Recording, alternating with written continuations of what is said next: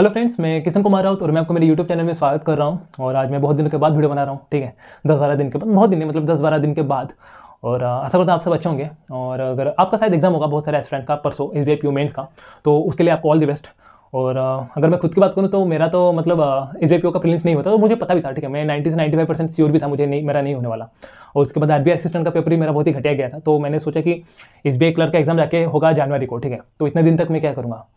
तो इसलिए मैंने ए ए आई ए का फॉर्म भरा। मैं दो तीन दिन प्लस सोचा, ठीक है? मैंने शायद बीस या फिर इक्कीस को, ठीक है? मैंने फॉर्म भरा था ए का और मैंने कोर्स का सब्सक्रिप्शन भी खरीदा, ठीक है? क्योंकि ऐसा नहीं कि मैं फॉर्म भर दूँगा और उसके बाद उसके लिए पढ़ाई नहीं करूँगा, जाके ऐसे फॉर्मेलिटी के लिए जाके बैठ जाऊँगा तो ऐसा तो मैं नहीं करने वाला बिल्कुल। और ए का सिलेबस भी थोड़ा डिफरेंट है, काफ़ी डिफरेंट है हमारे जो बैंकिंग या फिर या फिर एसएससी की सिलेबस से कंपेयर करें तो। तो इसमें है साठ, एक सौ बीस मार्क का पेपर रहता है रहता है, ठीक है वन ट्वेंटी मार्क का पेपर रहता है। और उसमें से सिक्सटी मार्क रहता है पार्ट है, जिसमें रहता है कि आपका क्वांट रीजनिंग इंग्लिश और जनरल स्टडीज़ ठीक है सिक्सटी मार्क्स का। और सिक्सटी मार्क्स का रहता है फिजिक्स और मैथमेटिक्स तीस तीस मार्क करके, ठीक है ईच सब्जेक्ट का। तो पार्ट ए के लिए तो मैं ज़्यादा इतना कंसर्न नहीं हूँ, ठीक है? क्योंकि मैं दो साल से प्रिपेयर कर रहा हूँ बैंकिंग का या फिर एस का भी आप ले लीजिए, एक साल से मैं प्रिपेयर कर रहा हूँ एस का।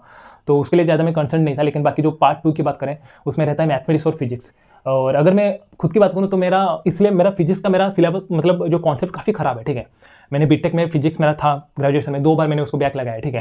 फ़र्स्ट सेमेस्टर में था मेरा, मेरे फ़र्स्ट सेमेस्टर में बैक लगा, फिर से री बैक लगा जब मैंने बैक पेपर दिया, ठीक है? थर्ड सेमेस्टर में, ताकि मैं उसको कितना फिफ्थ सेमेस्टर में क्लियर किया था, ठीक है? तो फिजिक्स मेरा काफ़ी घटिया था, और कॉन्सेप्ट और मैथमेटिक्स मेरा मतलब मैं बोलूँगा ठीक है? अब एवरेज या फिर गुड भी बोल सकता हूँ मैं। अपना अगर मैं रेट करना चाहूँ तो फिजिक्स को मैं out of ten one rate करूँगा मैथमेटिक्स को मैं छः सात रेट कर सकता हूँ अपना।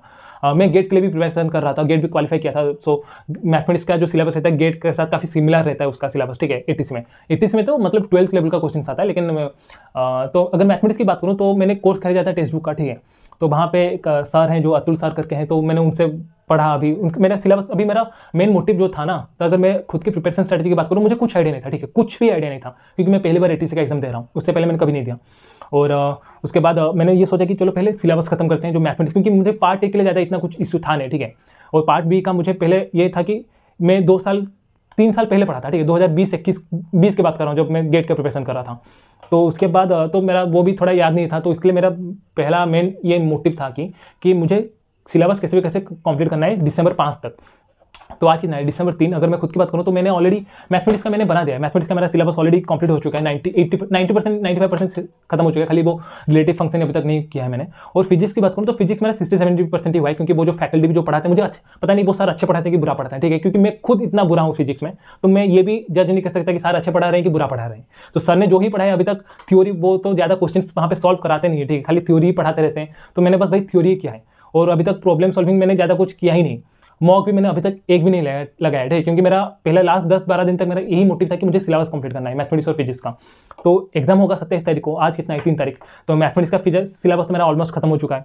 फिजिक्स का मेरा सेवेंटी सिक्सटी परसेंट तक शायद मेरा वही बचा है क्या? ऑप्टिक्स बचा है, मैंने उसको नहीं पढ़ा अभी तक और सेमी कंडक्टर नहीं पढ़ा। ये दोनों मैंने अभी तक नहीं पढ़ा है लेकिन बाकी खत्म हो चुका है बाकी। तो मेरा यही था कि दिसंबर पाँच के अंदर या फिर दिसंबर हाँ पाँच के अंदर सिलेबस खत्म करना है, उसके बाद मॉक लगाना है, ठीक है। लेकिन और एक बात है कि मैं आज जा रहा हूँ जमशेदपुर थोड़ा, ठीक है।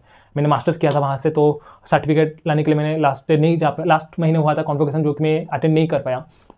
तो मैं जा रहा हूँ सर्टिफिकेट लाने के लिए तो मैं आज जा रहा हूँ। कल तो मैंने बिल्कुल नहीं पढ़ सकता तो पाँच तारीख आके जो भी मेरा सिलेबस खत्म करने के लिए शायद दो दो, तीन दिन एक्स्ट्रा लग जाए, ठीक है? छः सात को, क्योंकि जो सर का फिजिक्स सर का सिलेबस तो शायद बारह, चौदह को खत्म होगा, लेकिन उनका एक डिफरेंट कोर्स भी है तो वहाँ से मैं सिलेबस कंप्लीट कर दूँगा।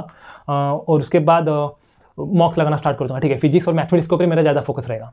तो एग्ज़ाम की बात करूँ तो एग्ज़ाम 120 मार्क का होता है, और लास्ट ईयर की बात करूँ लास्ट ईयर इसी साल ही हुआ था एटी का पेपर जो मैंने थोड़ा एनालिसिस किया यूट्यूब से लेकर तो लास्ट ईयर कट गया था नाइन्टी अगर इस बार जॉब चाहिए तो शायद मुझे हंड्रेड तक लाना पड़ेगा। अगर खुद की बात करूँ तो मैंने अभी तक एक भी मॉक नहीं लगाया तो मुझे पता नहीं मैं अभी कहाँ पर स्टार्ट कर रहा हूँ, ठीक है? तो मुझे अपना खुद के बारे में कुछ पता ही नहीं है। तो मॉक भी मैं इसलिए नहीं लग रहा लग रहा था क्योंकि मुझे, मेरा मेन पहले बोलते हैं ना, मुझे सिलेबस ही पहले खत्म करना था।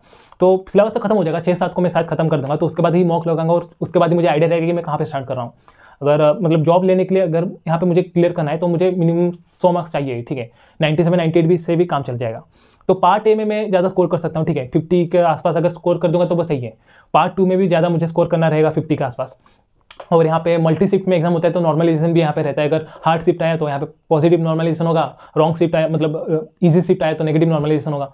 तो बस वही था। और प्रिपरेशन तो बस अभी मेरा वही चल रहा है। और मैं काफ़ी मतलब सच बता रहा हूँ, मैं अभी जो रहते हैं ना, बिल्कुल कुछ आइडिया नहीं है। मैं अपने तरीके से जो मैं ये सोच रहा हूँ, ऐसे ही चल रहा हूँ अभी। लेकिन बाद में एग्ज़ाम में क्या होता है, वो तो एग्ज़ाम के दिन ही पता चलेगा, ठीक है?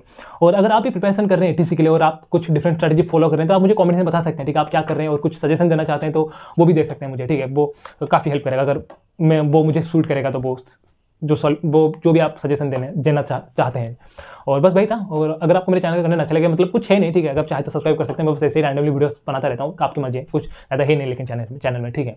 बस भाई था and thank you for watching and Jai Jagannath जिनका भी एग्ज़ाम है एस बी का मेन्स का उनको all the best S clerk का तो मेरा वही मेरा मेन होप है ठीक है ये तो बस एक बाई प्रोडक्ट है। बोर खुद को बोर नहीं करना चाहता था ठीक है क्योंकि अगर मैं कुछ नहीं करता ना तो खाली दिमाग शैतान का करो क्या मतलब वैसे ही मतलब मूवी वूवी देख के टाइम वेस्ट करता पड़ा बहुत ठीक है। तो इसलिए गेम खेल के पूरा टाइम वेस्ट होता है तो इसलिए मैंने वही एटीसी का फॉर्म भर दिया।